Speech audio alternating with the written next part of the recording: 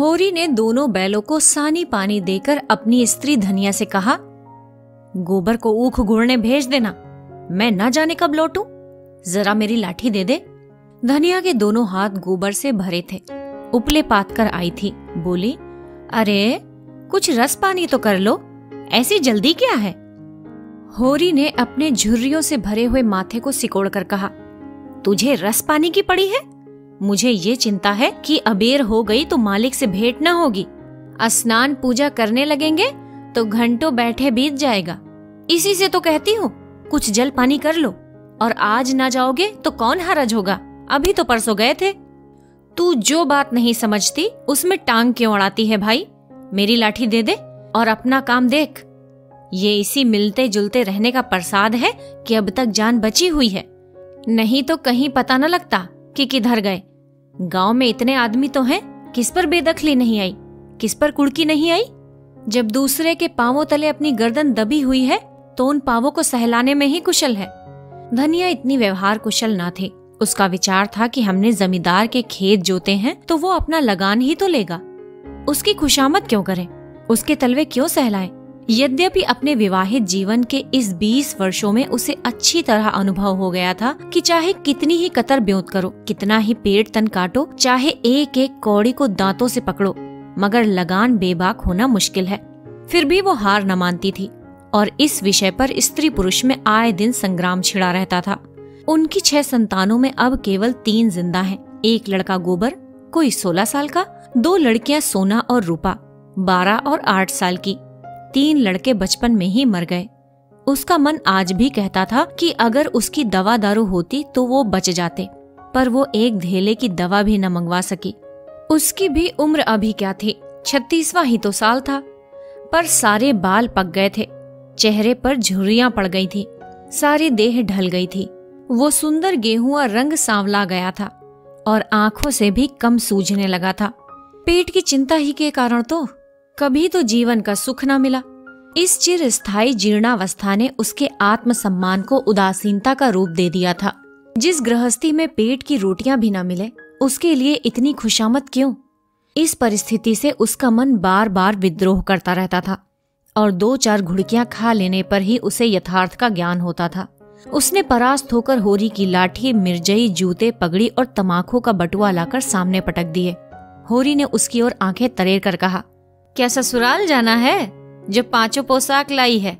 ससुराल में भी तो कोई जवान साली सलहज नहीं बैठी, जिसे जाकर दिखाऊँ? होरी के गहरे सांवले पिचके हुए चेहरे पर मुस्कुराहट की मृदुता झलक पड़ी।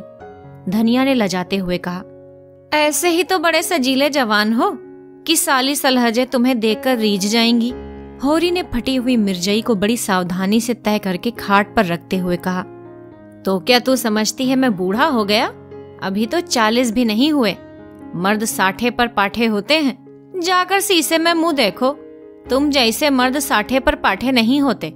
दूध, घी, अंजन लगाने तक को मिलता नहीं, पाठे होंगे। तुम्हारी दशा देख देख कर तो मैं और भी सुखी जाती हूँ कि भगवान ये बुढ़ापा कैसे कटेगा? किसके द्वार पर भीख मांगेंगे?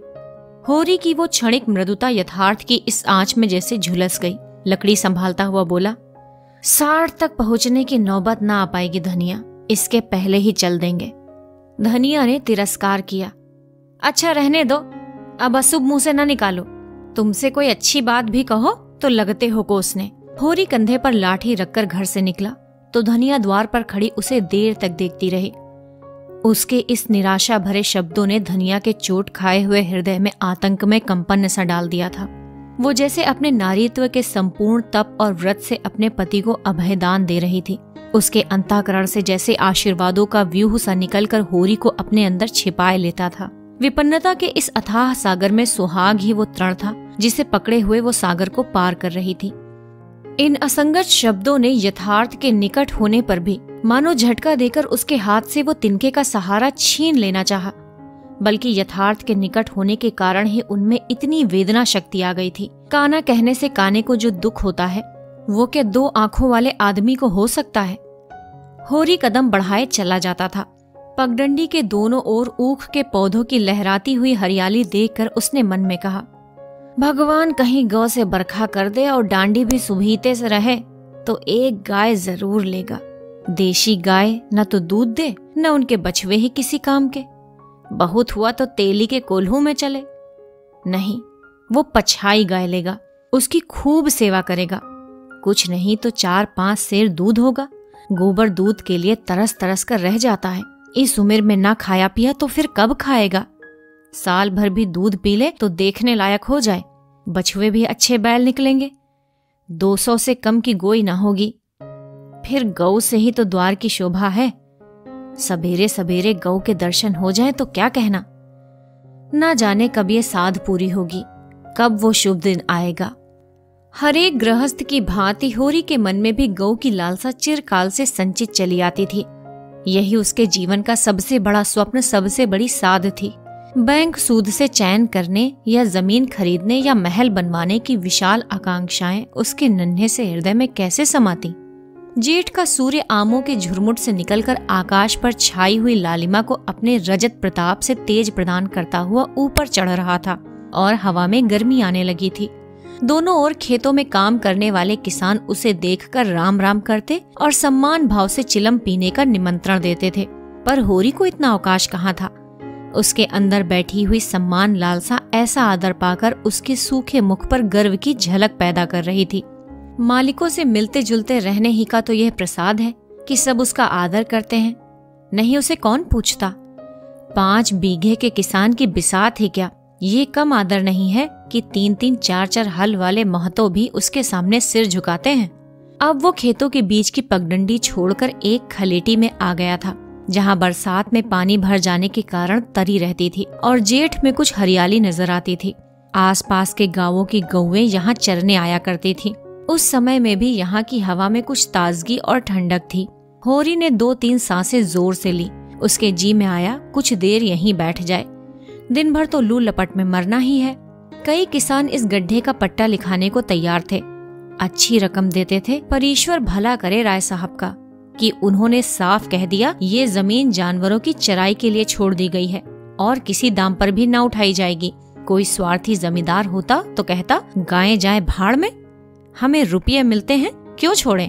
पर राय साहब अभी तक पुरानी मर्यादा निभाते आते हैं। जो मालिक प्रजा को ना पाले, वो भी कोई आदमी है। सहसा उसने देखा भोला अपनी गाय लिए इसी तरफ़ चला आ रहा है। भोला इसी गाँव से मिले हुए पूर्वे का ग्वाला था और दूध मक्खन का व्यवसाय करता था। अच्छा दाम मिल जाने पर कभी कभी किसानों के हाथों गाय बेच देता था। होरी का मन उन गायों को देखकर ललचा गया। अगर भोला वो आगे वाली गाय उसे दे दे तो क्या कहना? रुपए आगे पीछे देता रहेगा। वो जानता था घर में रुपए नहीं है। अभी तक लगान नहीं चुकाया जा सका। विशेषर साहू का भी देना बाकी है, जिस पर आने रुपए का सूद चढ़ रहा है। लेकिन दरिद्रता में जो एक प्रकार की अदूरदर्शिता होती है, वो निर्लजता जो तकाजे, गाली और मार से भी भयभीत नहीं होती, उसने उसे प्रोत्साहित किया। बरसों से जो साध मन को आंदोलित कर रही थी, उसने उसे विचलित कर दिया। भोला के समीप जाकर बोला, राम राम भोला भाई, कहो, क्या रंग ढंग है? सुना आपकी मेले से नई गाय लाए हो? भोला ने रुखाई से जवाब दिया। होरी के मन की बात उसने ताड़ ली थी। हाँ दो बछिए और दो गाय लाया। पहले वाली गायें सब सूख गई थी। बंधी पर दूध न पहुँचे तो गुजर कैसे हो? होरी ने आगे वाली गाय के पट्टे पर हाथ रखकर कहा, दुधार तो मालूम होती है। कितने में ली? भोला ने शान जमाई, अब की बाज़ार तेज रहा महतो, इसके अस्सी रुपए देने पड़े, आँखें निकल गईं। तीस तीस रुपए तो दोनों कलोरों के दिए, तीस पर गाहक रुपए का आठ सिर दूध माँगता है। बड़ा भारी कलेजा है तुम लोगों का भाई, लेकिन फिर लाए भी तो वो माल, कि यहाँ दस पाँच गाँवों में तो किसी के पास निकलेगी नहीं। भोला पर नशा चढ़ने लगा। बोला, राय साहब इसके सौ रुपए देते थे। दोनों कलोरों के पचास पचास रुपए, लेकिन हमने न दिए। भगवान ने चाहा तो सौ रुपए इसी बयान में पीट लूँगा। इसमें क्या संदेह है भाई? मालिक क्या खा के लेंगे? नजराने में मिल जाए तो भले ले लें। ये तुम ही लोगों का गुर्दा है कि अंजुली भर रुपए तकदीर के भरोसे गिन देते हो। यही जी चाहता है कि इसके दर्शन करता रहूँ। धन्य है तुम्हारा जीवन की गौओं की इतनी सेवा करते हो। हमें तो गाय का गोबर भी मयसर नहीं। गिरस्त के घर में एक गाय भी ना हो तो कितनी लज्जा की बात है। साल के साल बीत जाते हैं। गोरस के दर्शन नहीं होते। घरवाली बार बार कहती है, भोला भैया से क्यों नहीं कहते? मैं कह देता हूँ, कभी मिलेंगे तो कहूँगा। तुम्हारे स्वभाव से बड़ी पर्सन रहती है। कहती है, ऐसा मर्द ही नहीं देखा कि जब भी बातें करेंगे, आँखें नीची करके सिर कभी नहीं उठाते। भोला पर जो नशा चढ़ रहा था, उसे इस भरपूर प्याले ने और गहरा कर दिया। बोला, आदमी वही है जो दूसरों की बहू बेटी को अपनी बहू बेटी समझे। जो दुष्ट किसी महरिया की ओर ताके, उसे गोली मार देना चाहिए। ये तो तुमने लाख रुपए की बात कह दी भाई। बस सज्जन वही, जो दूसरों की आबरू को अपनी आबरू समझे। जिस तरह मर्द के मर जाने से औरत अनाथ हो जाती है, उसी तरह औरत के मर जाने से मर्द के हाथ पाँव टूट जाते हैं। मेरा तो घर उजड़ गया महतो कोई एक लोटा पानी देने वाला भी नहीं। गत वर्ष भोला की स्त्री लू लग जाने से मर गई थी। ये होरी जानता था, लेकिन पचास वर्ष का खंखड़ भोला भीतर से इतना स्निग्ध है, वो न जानता था। स्त्री की लालसा उसकी आँखों में सजल हो गई थी। होरी को आसन मिल गया। उसकी व्यवहारिक कृषक बुद्धि सजग हो गई। पुरानी मसल झूठी थोड़े है। बिना घरनी का घर, भूत का डेरा। कहीं सगाई क्यों नहीं ठीक कर लेते? ताक में हूँ मैं तो। पर कोई जल्दी फंसता नहीं। सौ पचास खर्च करने को भी तैयार हूँ। जैसी भगवान की इच्छा। अब मैं भी फ़िक्र में रहूँगा। भगवान चाहेंगे तो घर जल्दी बस जाएगा। बस यही समझ लो कि उबर जाऊँगा भैया। घर में खाने को भगवान का दिया बहुत है। चार पसेरी रोज दूध हो जाता है। लेकिन किस काम का? मेरे ससुराल में एक महरिया है। तीन चार साल हुए उसका आदमी उसे छोड़कर कलकत्ते चला गया। बेचारी पिसाई करके गुजारा कर रही है। बाल बच्चा भी कोई नहीं। देखने सुनने में अच्छी है। बस लक्ष्मी समझ लो। भोला का सिकुड़ा हुआ चेहरा जैसे चिकना गया। आशा में कितनी सुधा है। बोला, अब तो तुम्हारा आसरा है महतो। छुट्टी हो तो चलो एक दिन देख आए। मैं ठीक ठीक करके तब तुमसे कहूँगा। बहुत उतावली करने से भी काम बिगड़ जाता है। जब तुम्हारी इच्छा हो तब चलो, उतावली का है कि इस कबरी पर मन ललचाया हो तो ले लो। ये गाय मेरे मन की नहीं है दादा। मैं तुम्हें नुकसान नहीं पहुंचाना चाहता। अपना धर्म ये नहीं है कि मित्रों का गला दबाएँ। जैसे इतने दिन बीते हैं, वैसे और भी दिन बीत जाएँगे। तुम तो ऐसी बातें करते हो होरी, जैसे हम तुम दो हैं। तुम गाय ले जाओ। दाम जो चाहे देना। जैसे मेरे घर में रही, वैसे तुम्हारे घर रही। अस्सी रुपए में ली थी, तुम अस्सी रुपए ही देना, जाओ। लेकिन मेरे पास नगद नहीं है, दादा, समझ लो। तो तुमसे नगद माँगता कौन है, भाई? होरी की छाती गज भर की हो गई। अस्सी रुपए में गाय महँगी ना थी। ऐसा अच्छा डील डॉल दोनों जून में छह सात सेर दूध सीधी ऐसी कि बच्चा भी धूले। इसका तो एक एक बाछा सौ सौ का होगा। द्वार पर बंधेगी तो द्वार की शोभा बढ़ जाएगी। उसे अभी कोई चार सौ रूपए देने थे। लेकिन उधार को वो एक तरह से मुफ़्त समझता था। कहीं भोला की सगाई ठीक हो गई तो साल दो साल तो वो बोलेगा भी नहीं। सगाई ना भी हुई तो होरी का क्या बिगड़ता है? यही तो होगा। भोला बार बार तकादा करने आएगा, बिगड़ेगा, गालियाँ देगा। लेकिन होरी को इसकी ज़्यादा शर्म ना थी। इस व्यवहार का वो आदि था। कृषक के जीवन का यही तो प्रसाद है। भोला के साथ वो छल कर रहा था और वो व्यापार उसकी मर्यादा के अनुकूल था। अब भी लेन देन में उसके लिए लिखा पढ़ी होने और न होने में कोई अंतर न था। सूखे बूढ़े की विपदाएँ उसके मन को भीरू बनाए रहती थीं। ईश्वर का रौद्र रूप सदैव उसके सामने रहता था। पर यह छल उसकी नीति में छल न था। ये केवल स्वार्थ सिद्धि थी और ये कोई बुरी बात न थी। इस तरह का छल तो वो दिन रात करता था। घर में दो चार रुपए पड़े रहने पर भी महाजन के सामने कसमे खा जाता था कि एक पाई भी नहीं है। सन को कुछ गीला कर देना और रुई में कुछ बिनौले भर देना उसकी नीति में जायज़ था और यहाँ तो केवल स्वार्थ न था थोड़ा सा मनोरंजन भी था। बुढ़ों का बुढ़भस हास्यपद वस्तु है और ऐसे बुढ़ों से अगर कुछ ऐंठ भी लिया जाए तो कोई दोष पाप नहीं। भोला ने गाय की पगहिया होरी के हाथ में देते हुए कहा, ले जाओ महतो, तुम भी याद करोगे। ब्याते ही छह सेर दूध ले लेना। चलो, मैं तुम्हें घर तक पहुँचा दूँ। शायद तुम्हें अनजान समझकर रास्ते में कुछ दिख करे।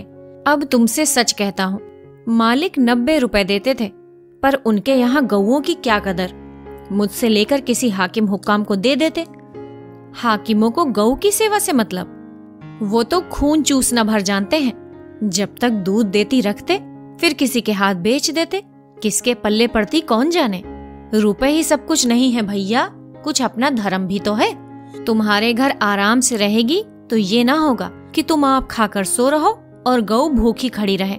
उसकी सेवा करोगे, चुमकारोगे, गौ हमें आशीर्वाद देगी। तुमसे क्या कहूँ भैया, घर में चंगुल भर भूसा नहीं रहा। रुपए सब बाज़ार में निकल गए। सोचा था, महाजन से कुछ लेकर भूसा ले लेंगे, लेकिन महाजन का पहला ही नहीं चुका। उसने इनकार कर दिया। इतने जानवरों को क्या खिलाएँ, यही चिंता मारे डालती है। चुटकी चुटकी भर भी खिलाऊं तो मन भर रोज का खर्च है। भगवान ही पार लगाए तो लगे। होरी ने सहानुभूति के स्वर में कहा, तुमने हमसे पहले क्यों नहीं कहा? हमने एक गाड़ी भूसा बेच दिया। भोला ने माथा ठोक कर कहा, इसलिए नहीं कहा भैया कि सबसे अपना दुख क्यों रो बांटता कोई नहीं, हँसते सब हैं। जो गायें सूख गई हैं, उनका गम नहीं। पत्ती पत्ती खिलाकर जिला लूँगा, लेकिन अब ये तो रातें बिना नहीं रह सकती। हो सके तो दस बीस रुपए भूसे के लिए दे दो। किसान पक्का स्वार्थी होता है, इसमें संदेह नहीं। उसकी गांठ से रिश्वत के पैसे बड़ी मुश्किल से निकलते हैं। भाव ताव में भी वो चौकस होता है। ब्याज की एक एक पाई छुड़ाने के लिए वो महाजन की घंटों चिरौरी करता है। जब तक पक्का विश्वास न हो जाए, वो किसी के फुसलाने में नहीं आता। लेकिन उसका संपूर्ण जीवन प्रकृति से स्थायी सहयोग है। वृक्षों में फल लगते हैं, उन्हें जनता खाती है। खेती में अनाज होता है, वो संसार के काम आता है। गाय के थन में दूध होता है, वो खुद पीने नहीं जाती, दूसरे ही पीते हैं। मेघों से वर्षा होती है, उससे पृथ्वी तृप्त होती है। ऐसी संगति में कुत्सित स्वार्थ के लिए स्थान कहाँ?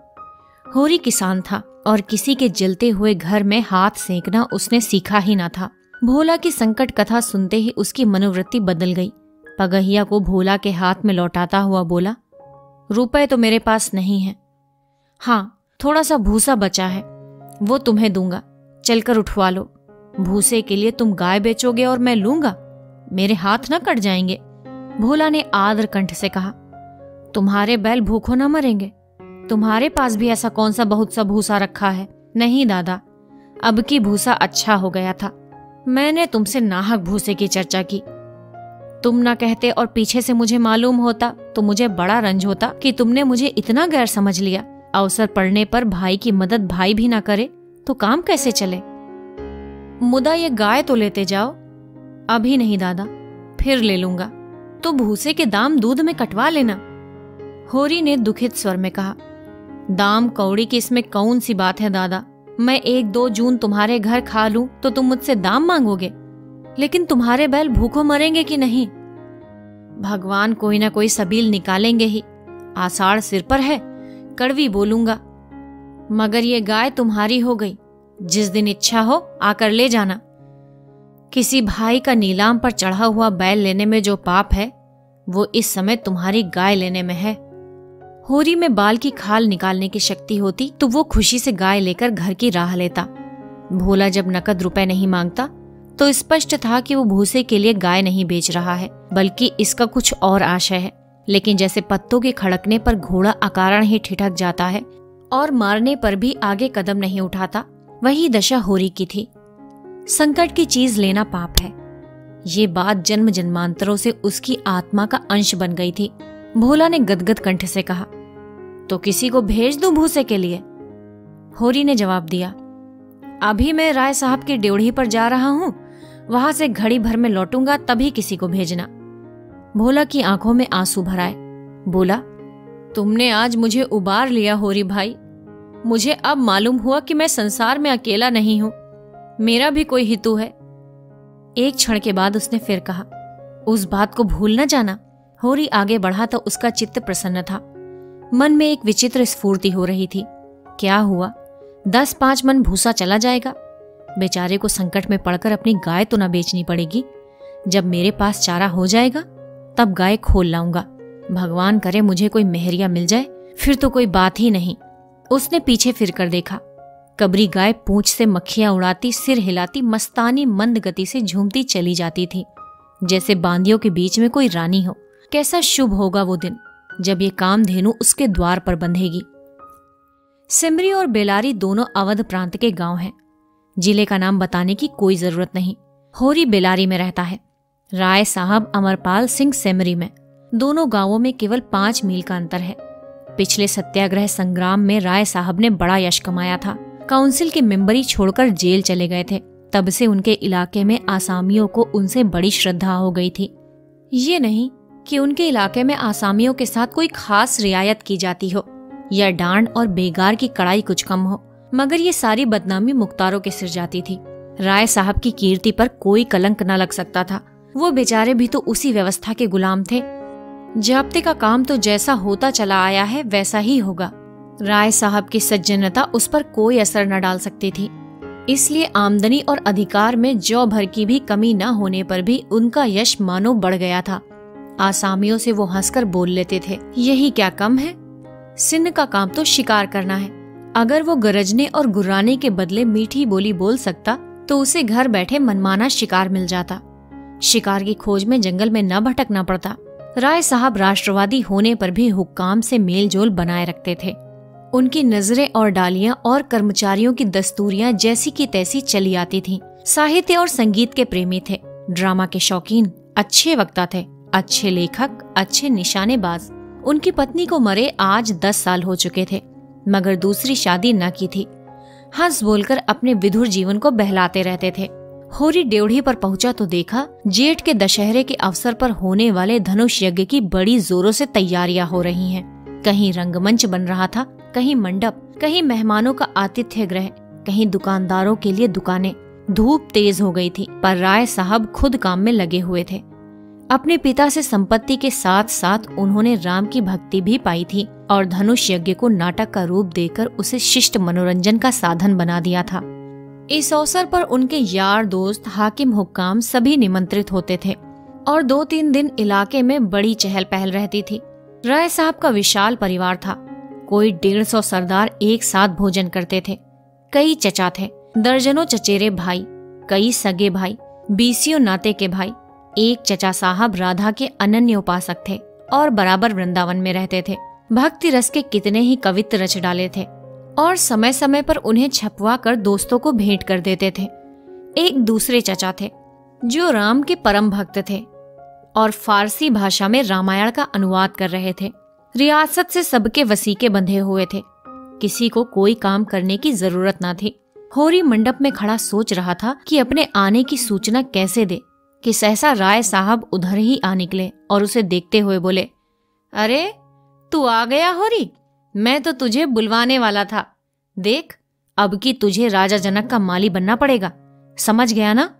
जिस वक्त श्री जानकी जी मंदिर में पूजा करने जाती हैं, उसी वक्त तू एक गुलदस्ता लिए खड़ा रहेगा और जानकी जी की भेंट करेगा। गलती ना करना और देख आसामियों से ताकीद करके कह देना कि सब के सब शगुन करने आए। मेरे साथ कोठी में आ तुझसे कुछ बातें करनी है। वो आगे आगे कोठी की ओर चले। होरी पीछे पीछे चला। वहीं एक घने वृक्ष की छाया में एक कुर्सी पर बैठ गए और होरी को ज़मीन पर बैठने का इशारा करके बोले, समझ गया मैंने क्या कहा? कारकुन को तो जो कुछ करना है वो करेगा ही। लेकिन आसामी जितने मन से आसामी की बात सुनता है, कारकुन की नहीं सुनता। हमें इन्हीं पाँच सात दिनों में बीस हज़ार का प्रबंध करना है। कैसे होगा समझ में नहीं आता। तुम सोचते होगे, मुझ टके के आदमी से मालिक क्यों अपना दुखड़ा ले बैठे? किससे अपने मन की कहूँ? ना जाने क्यों तुम्हारे ऊपर विश्वास होता है। इतना जानता हूँ कि तुम मन में मुझ पर हंसोगे नहीं, और हंसो भी तो तुम्हारी हँसी मैं बर्दाश्त कर लूँगा। उनकी हँसी नहीं सह सकता, जो अपने बराबर के हैं, क्योंकि उनकी हँसी में ईर्ष्या, व्यंग और जलन है, और वे क्यों ना हंसेंगे? मैं भी तो उनकी दुर्दशा और विपत्ति और पतन पर हंसता हूँ। दिल खोल खोलकर तालियाँ बजाकर संपत्ति और सहृदयता में बैर है। हम भी दान देते हैं, धर्म करते हैं। लेकिन जानते हो क्यों? केवल अपने बराबर वालों को नीचा दिखाने के लिए। हमारा दान और धर्म कोरा अहंकार है, विशुद्ध अहंकार। हम में से किसी पर डिग्री हो जाए, कुर्की आ जाए, बकाया मालगुजारी की इल्लत में हवालत हो जाए, किसी का जवान बेटा मर जाए, किसी की विधवा बहू निकल जाए, किसी के घर में आग लग जाए, कोई किसी वैश्या के हाथों उल्लू बन जाए या अपने आसामियों के हाथों पिट जाए तो उसके और सभी भाई उस पर हंसेंगे, बगले बजाएँगे। मानो सारे संसार की संपदा मिल गई है। और मिलेंगे तो इतने प्रेम से जैसे हमारे पसीने की जगह खून बहाने को तैयार हैं। अरे, और तो और? हमारे चचेरे, फुफेरे, ममेरे, मौसेरे भाई जो इस रियासत की बदौलत मौज उड़ा रहे हैं, कविता कर रहे हैं और जुए खेल रहे हैं, शराबे पी रहे हैं और अयाशी कर रहे हैं, वो भी मुझसे जलते हैं। आज मर जाऊँ तो घी के चिराग जलाएँगे? मेरे दुख को दुख समझने वाला कोई नहीं। उनकी नज़रों में मुझे दुखी होने का कोई अधिकार ही नहीं है। मैं अगर रोता हूँ तो दुख की हँसी उड़ाता हूँ। मैं अगर बीमार होता हूँ तो मुझे सुख होता है। मैं अगर अपना ब्याह करके घर में कलय नहीं बढ़ाता तो ये मेरी नीच स्वार्थ पड़ता है। अगर ब्याह कर लूँ तो ये विलासांधता होगी। अगर शराब नहीं पीता तो मेरी कंजूसी है। शराब पीने लगूं तो वो प्रजा का रक्त होगा। अगर अयाशी नहीं करता तो अरसिक हूँ। अयाशी करने लगूं तो फिर कहना ही क्या? इन लोगों ने मुझे भोग विलास में फंसाने के लिए कम चाले नहीं चली, और अब तक चलते जाते हैं। उनकी यही इच्छा है कि मैं अंधा हो जाऊँ और ये लोग मुझे लूट लें। और मेरा धर्म ये है कि सब कुछ देख कर भी कुछ न देखूँ। सब कुछ जान कर भी गधा बना रहूँ। राय साहब ने गाड़ी को आगे बढ़ाने के लिए दो बीड़े पान खाए और होरी के मुँह की ओर ताकने लगे। जैसे उसके मनोभावों को पढ़ना चाहते हो। होरी ने साहस बटोर कर कहा, हम समझते थे कि ऐसी बातें हम ही लोगों में होती हैं, पर जान पड़ता है, बड़े आदमियों में भी उनकी कमी नहीं है। राय साहब ने मुँह पान से भरकर कहा, तुम हमें बड़ा आदमी समझते हो। हमारे नाम बड़े हैं, पर दर्शन थोड़े। गरीबों में अगर ईर्ष्या या वैर है तो स्वार्थ के लिए या पेट के लिए।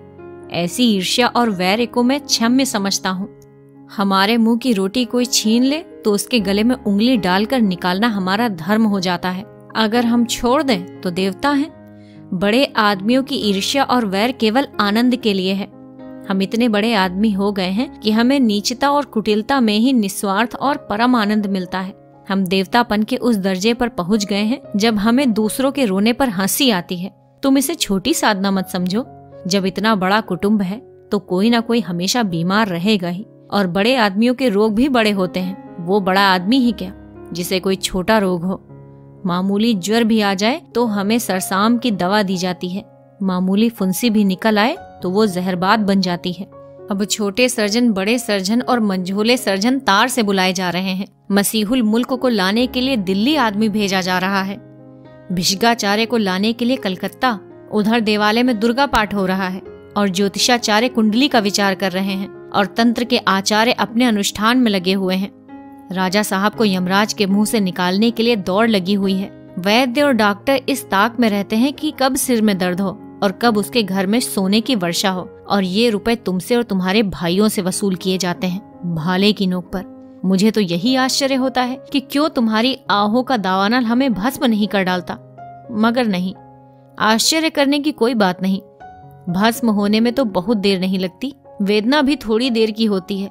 हम जो जो और अंगुल अंगुल और पोर पोर भस्म हो रहे हैं। उस हाहाकार से बचने के लिए हम पुलिस की हुक्काम की, अदालत के वकीलों की शरण लेते हैं और रूपवती स्त्री की भांति सभी के हाथों का खिलौना बनते हैं। दुनिया समझती है हम बड़े सुखी हैं। हमारे पास इलाके, महल, सवारियाँ, नौकर, चाकर, कर्ज, वेश्याएँ क्या नहीं है? लेकिन जिसकी आत्मा में बल नहीं, अभिमान नहीं, वो और चाहे कुछ हो, आदमी नहीं है।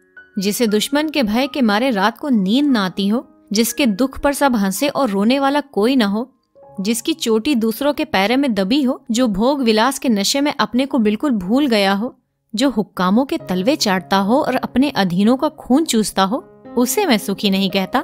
वो तो संसार का सबसे अभागा प्राणी है। साहब शिकार खेलने आए या दौरे पर?